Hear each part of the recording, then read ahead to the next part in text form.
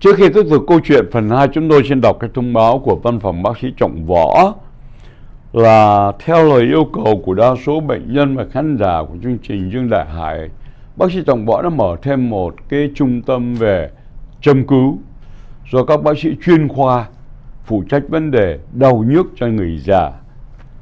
Đặc biệt là các cái phương thức châm cứu hữu hiệu và có hiệu lực nhanh quý vị có thể liên lạc mọi thắc mắc ở số điện thoại là 714 531 2020 714 531 2020 để xin được giải đáp và giúp đỡ. Đây là một trung tâm về châm cứu đặc biệt của bác sĩ Trọng Võ đã có trên 30 năm phục vụ cộng đồng người Việt. Đặc biệt trung tâm này bắt đầu được thực hiện vài tháng trở lại đây. Và chúng ta tiếp tục câu chuyện của vấn đề nhập cư. đó là một câu chuyện đau đầu nhất cho dân chúng Hoa Kỳ. Lý do là vì những người nhập cư này họ không có được khám phá về vấn đề thử Covid-19 mà họ đi bừa bãi từ bên Guatemala, Honduras, Nicaragua và Mexico qua đến Hoa Kỳ. Mà nhất là nó lại gồm có đến 150 quốc gia, tức là những cái dân trên 200 hàng triệu người đã vào Mỹ bất hợp pháp từ tháng giêng đến bây giờ đến từ 150 quốc gia. Rất là hỗn loạn và phức tạp. Vì thế mà nước Mỹ này mặc dầu đã được trích ngừa đến trên 70% dân số, mà vẫn còn bị lây nhiễm cái ca nhiễm mỗi ngày một đông hơn là vì như tháng 7 vừa rồi, có trên 230.000 người đã vượt qua biên giới bị bắt. Đó là chưa kể những người không bị bắt có thể lên đến 4-500.000 người. Cho nên đó là cái thất bại của chính phủ Hoa Kỳ hiện nay. Mà lời tuyên bố của Tổng thống Donald Trump không có sai. Một những cái sự kiện mà tụi Tàu Cộng nó muốn phá hoại nước Mỹ là nó tống người vào biên giới và nó bỏ chính phủ Hoa Kỳ phải mở cửa biên giới là như thế. Phát ngôn viên của Tòa Bạch Cung là bà Saki nói rằng là Bộ An ninh Nội chính cùng cơ quan bảo vệ biên giới có trách nhiệm ngăn chặn sự lây lan của Covid và các bệnh khác một cách nghiêm túc. Anh nói ngớ ngẩn. Biên giới không đóng cửa, mà lại rằng đòi hỏi cơ quan biên phòng là phải làm việc một cách hữu hiệu để kiểm soát. Thì kiểm soát bằng cách nào? Một phần người cứ ồ ạt tràn qua biên giới, đi bắt còn không kịp. Một phần lại cắt ngân sách của cơ quan biên phòng chưa có một cái chính phủ nào trên thế giới này mà lại mở cửa biên giới cho ngoại bang xâm nhập.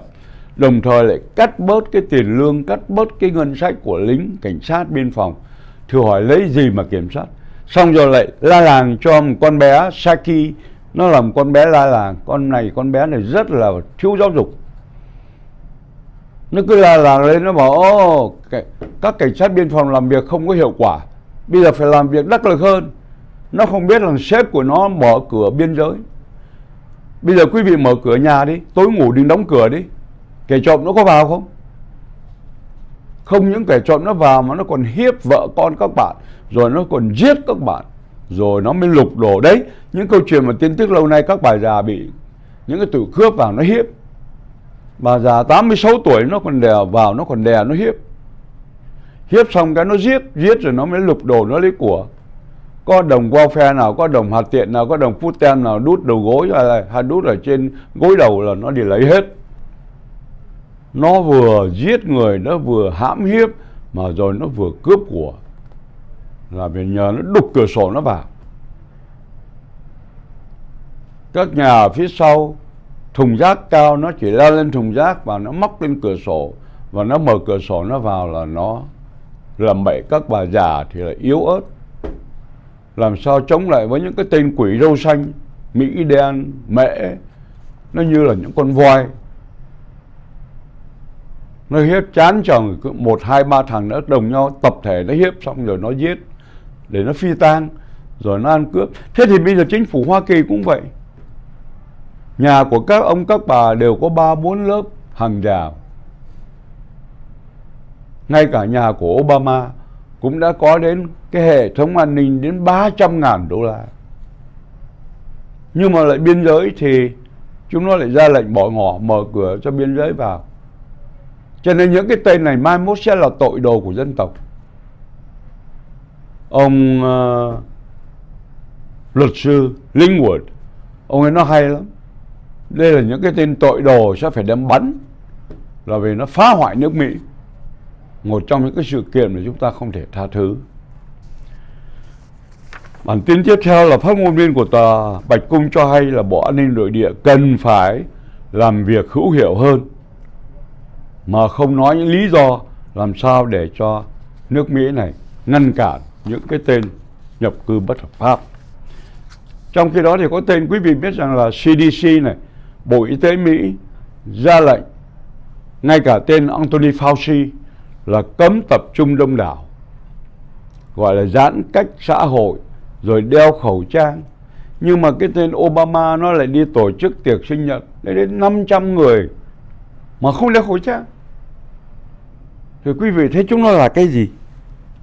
Chúng nó là người hay là chúng nó là ngợm trong cái lúc đất nước đang có dịch như thế này, cho đến bây giờ trên thế giới cái dịch này đã giết trên 4 triệu người, gần 5 triệu người nước Mỹ này số người chết cũng đã trên 600 nghìn người. Vậy mà những cái tên cà chớn nó vẫn nhờ nhơ, nó mở tiệc sinh nhật với bốn năm trăm người. Đến nữa lúc mà nó kết thúc bữa tiệc, nó nhảy đầm nhảy nhót như là những cái tên khỉ đột, chimpanzee. Đường xá tắc nghẹn mà nó không đeo khẩu trang. Trong khi cơ quan của CDC tên Anthony Fauci lại chỉ trích những cái cuộc gọi là đấu bóng ở tiểu bang South Dakota. Đó là một cái chuyện của thể thao của công cộng thì nó lại lên án.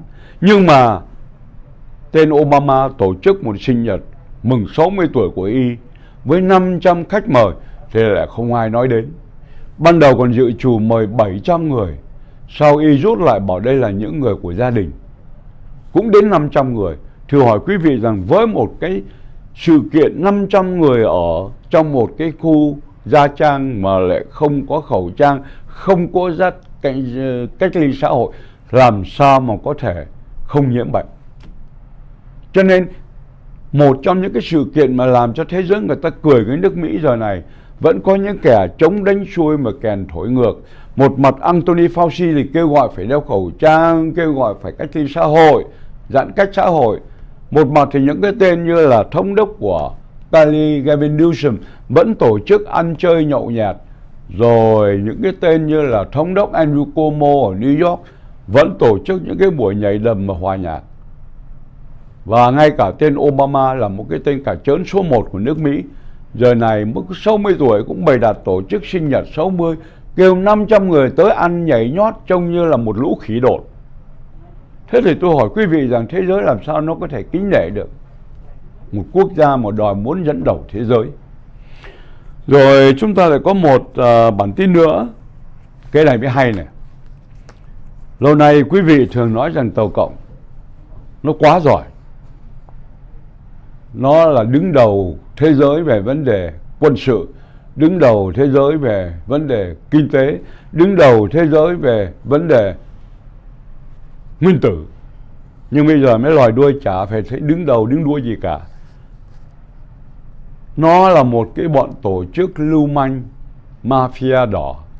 Ở bên tàu cộng nó có trên 200 triệu camera để từng góc phố, để nó quay từng khuôn mặt của dân tộc để nó có hồ sơ của 1.400 triệu dân tộc nó mới lập ra cái thang gọi là thang điểm xã hội, social credit nó bắt đầu từ 800 rồi những tên nào mà phạm kỷ luật chống tàu cộng thì chúng nó giảm xuống, mà những tên nào càng bị giảm nhiều thì càng bị dễ bắt vào tù. Và nó kiểm soát từng khuôn mặt. Còn đối với thế giới thì làm sao? Nó không có camera đem qua pháp, nó gắn, nó không có đem camera qua bên mỹ, nó gắn. Nhưng mà nó lại mở ra những cái ngân hàng, gọi là ngân hàng gene có nghĩa là nó dự trữ tất cả những cái DNA của từng người đàn ông Việc nghiên cứu gen ở tàu cộng ngày càng gây ra những tranh cãi và lo ngại trong giới học thuật quốc tế. Một tạp chức của tạp chí khoa học của Mỹ đã nói lên cái lời cảnh cáo này. Mà cái khốn nạn nhất là những cái việc làm này văn minh thì lại do mấy thằng vi trùng học, những thằng nhân trùng học của Đại học Mỹ ăn tiền của Tàu Cộng giúp nó thành lập. Theo một bài viết trên trang tin The Intercept của Mỹ hôm thứ Tư mùng 4 tháng 8, đăng tải các bài viết về các lĩnh vực nghiên cứu gene, di truyền trên người Tây Tạng.